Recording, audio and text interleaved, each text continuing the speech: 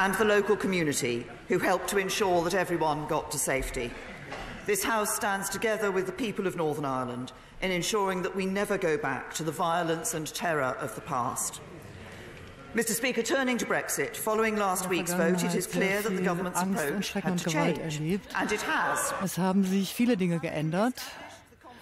Es gibt jetzt Vertrauen in das Parlament dieser Regierung und ich habe inzwischen vielen Angehörigen der unterschiedlichen Parteien des Parlaments zugehört der schottischen Nationalisten, der Grünen Partei, anderer Parteien, Hinterbänkler aus den verschiedenen Kammern. Ich habe verschiedene der hochverehrten Kollegen Abgeordneten angehört, ebenso wie meine engen Mitarbeiter.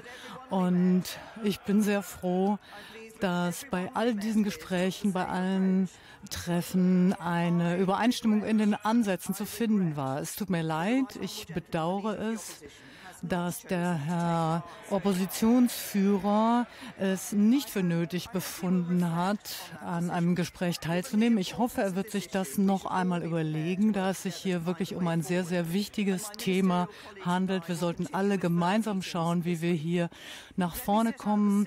Wir werden im Laufe der Woche weitere Treffen haben. Ich möchte jetzt noch mal die zentralen Themen umreißen, um die es hier geht, damit wir Fortschritte machen können. Zunächst mal die größte Sorge, wenn wir einen ungeordneten Austritt haben aus der Europäischen Union. Es ist von vielen gewünscht, dass wir das ausschließen, aber wir müssen mit dem Volk ehrlich darüber sprechen, was das bedeutet. Wenn wir diesen No-Deal ausschließen, dann müssen wir zunächst mal zeigen, dass es einen Deal, eine Verabredung mit der EU gibt. Und das versucht ja genau diese Regierung zu erreichen. Wir können nicht einfach so garantieren, dass es keinen ungeregelten Austritt gibt, es sei denn, wir sind bereit, im Zweifelsfall in der EU zu verbleiben. Man könnte natürlich den Artikel 50 verlängern, das heißt uns noch mehr Zeit geben und nehmen. Das heißt nicht, dass wir den ungeregelten Brexit ausschließen, sondern dass wir uns durch eine Verlängerung des Artikels 50 noch mehr Zeit nehmen, um die Vereinbarung zu verbessern. Das heißt, wenn wir den ungeregelten Brexit ausschließen, dann heißt das im Grunde, wenn das Parlament die Vereinbarung nicht verabschieden kann, müssen wir den Artikel 50 anrufen. Es gibt auch die Stimmen, die nach einem neuen Referendum rufen. Ich denke nicht, dass wir hier das unterstützen sollten. Es gibt auch in der Opposition, in den Hinterbänken viele Stimmen danach. Ein zweites Referendum meiner Meinung nach würde sehr, sehr viele Probleme auch für das britische Volk mit sich bringen. Unsere Aufgabe als Regierung ist es, diese Ergebnisse, die sich aus dem ersten Referendum gezeigt haben, umzusetzen. Sonst äh, würden wir doch die falsche Botschaft senden, was das betrifft, wie wir in diesem Land mit Volksabstimmungen und Volksentscheiden umgehen. Wir wollen doch unser vereinigtes Königreich nicht auseinanderschlagen. Und wenn wir den Artikel 50 ausweiten, würden wir wahrscheinlich im Mai nochmal mit dem Europäischen Parlament zusammentreffen.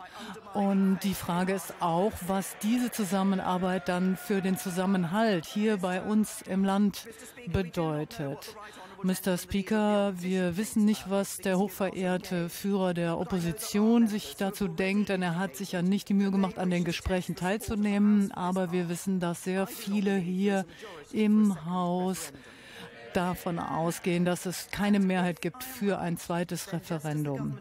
Wenn ich da richtig liege, dann muss die Regierung nochmal über die Ansätze nachdenken. Diejenigen, die glauben, dass das die richtige Antwort ist, müssen auch neu überlegen.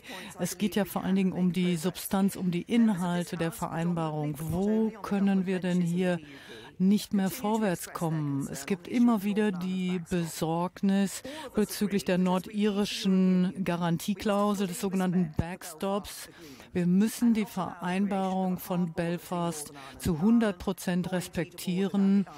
Und da geht es natürlich nicht nur um die inländische Grenze zwischen Nordirland und Irland, sondern auch um das Seerecht.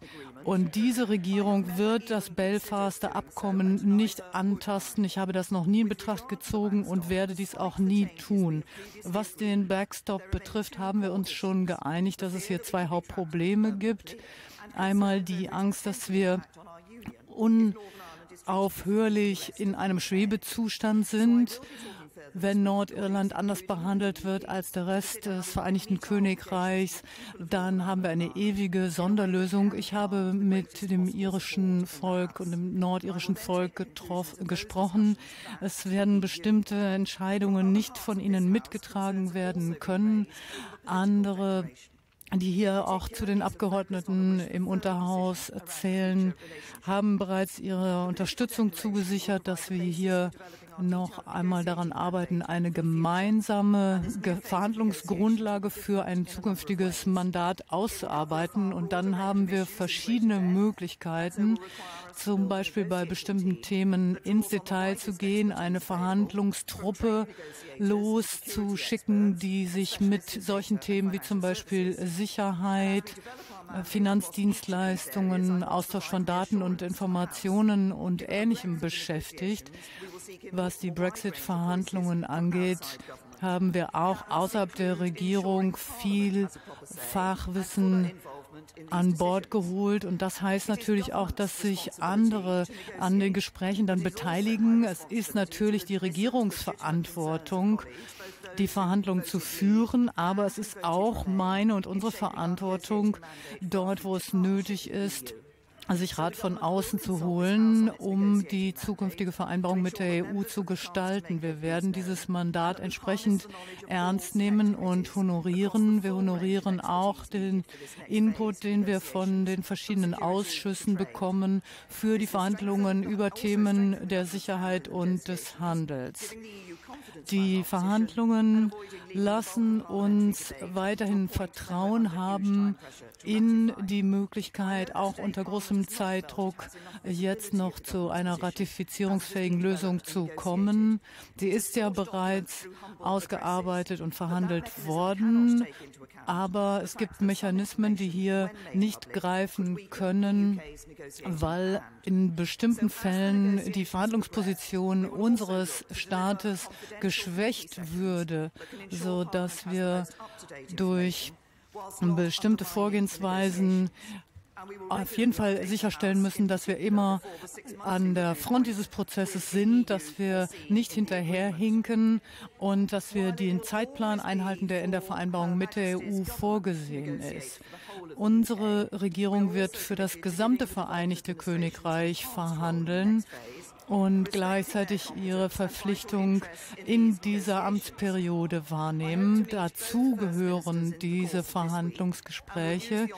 Ich hoffe, dass ich mit allen führenden Politikern in dieser Woche noch sprechen kann, um für die noch offenen Fragen, insbesondere die nordirische Frage, hier zu gemeinsamen Lösungen zu kommen.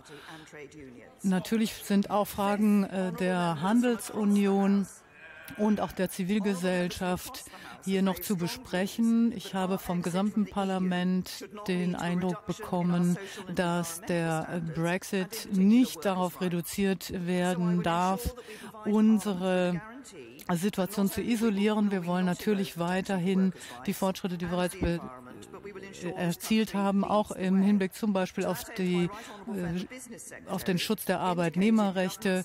All das soll weiterhin aufrechterhalten werden und das ist äh, in den Gesprächen auch so herausgekommen, dass alle Veränderungen, die es von den Seiten der EU in Zukunft gibt, natürlich von uns nicht fraglos mitgetragen werden. Wir haben außerdem an der Ausarbeitung von verschiedenen Vorschlägen gearbeitet, wo auch gesetzgeberische Maßnahmen dann ein, inbegriffen sind, wenn dies für nötig gehalten wird. Außerdem geht es natürlich um den Status der verschiedenen EU-Bürgerinnen und Bürger im Vereinigten Königreich und britischen Bürgerinnen und Bürger in EU-Ländern. Diese sollen bleiben können dort, wo sie derzeit leben und ihre Rechte wahrnehmen können in demselben Ausmaß wie bisher, und zwar egal in welchem Szenario. Dieses Szenario Szenarium wird natürlich auch nochmal einem Praxistest unterworfen werden. Wir werden dann in den ersten Monaten sehen, wie das tatsächlich in der Praxis läuft. Es handelt sich hier um schätzungsweise über drei Millionen Menschen, die davon betroffen sind. Wir werden versuchen, die finanzielle Situation im Griff zu behalten, sodass es nicht durch Gebühren oder ähnliche zusätzliche Kosten ein Hindernis gibt, sich in dem Land aufzuhalten, in dem man sich aufhalten möchte. Es wird eine Pilotphase geben für dieses Projekt und im Zweifelsfall dann auch eine Rückerstattung von Gebühren, sofern diese nicht zulässig waren. Die EU-Länder haben bereits egal ähm, in welchem Fall, zugesichert, dass der Aufenthaltsstatus nicht angetastet wird. Ich möchte außerdem noch hinzufügen, dass wir eine Ministerialerklärung haben nach Artikeln äh, nach Paragraph 16 Absatz 4 und 5 und auch die Bestimmungen anderer Paragraphen hier eingehalten wurden. Und gemäß dieser Beratungen und gemäß dieser Bestimmungen am 29. Januar abgestimmt wird. Es geht nicht hier und heute um die Ratifizierung der Vereinbarung mit der EU, sondern um das Voranbringen des Prozesses, der immer noch nicht abgeschlossen ist. In den nächsten Tagen wird das Kabinett mit mir zusammen sich bemühen, mit allen, auch mit den Gewerkschaften, auch mit Vertretern der Zivilgesellschaft, so viel Kompromisse, so viel Konsens wie möglich zu erreichen. Und wir hoffen, dass es nicht dazu kommt. Ich glaube auch nicht daran, dass es eine Mehrheit geben wird hier in dieser Kammer für ein zweites Referendum. Ich möchte eine Vereinbarung mit der EU finden ich glaube, wir können ohne Anrufung des Artikels 50 auch gar keine Lösung finden, wenn wir jetzt nicht diese Vereinbarung irgendwie konsensfähig machen. Es gibt natürlich einige notwendige Änderungen, mehr Flexibilität, mehr Öffnung für die Zukunft, was zum Beispiel parlamentarische Verhandlungen angeht, was unsere Partnerschaft mit der EU angeht. Dann natürlich den Schutz der Arbeitnehmerrechte auch Schutz der Umwelt. Und dann die Frage der nordirischen Grenze und wie diese Grenze bestehen kann, ohne dass es wieder harte Grenzkontrollen gibt. Wir haben ein Mandat vom britischen Volk, die EU zu verlassen. und wir fühlen dieses Mandat als eine Verantwortung gegenüber dem gesamten Land.